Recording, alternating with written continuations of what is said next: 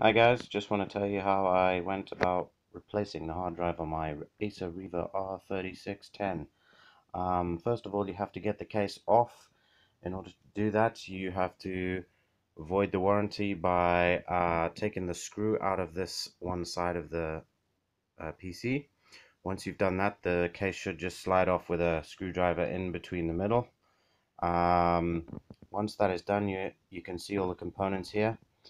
Um, the, to get to the hard drive, you actually have to take the hard, motherboard out. Uh, there are four screws on the motherboard there, there, there, and there.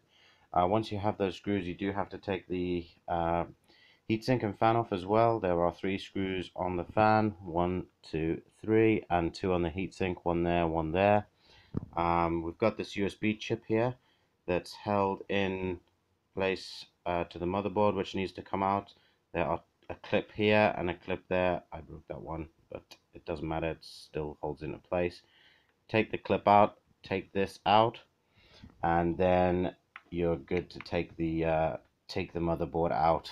Um, there are four screws on the back of the hard drive for you to replace the hard drive itself. Um, don't forget before you take the motherboard out, uh, there's a wireless chip here with attachment of cables to the case if you there are two clips there and there you just slot those clips out and take the chip just put the chip to one side. And that's how you take the motherboard out. Once you've done that you can replace the hard drive screw it back in and replace all the screws uh, in order and away you go. Thanks for listening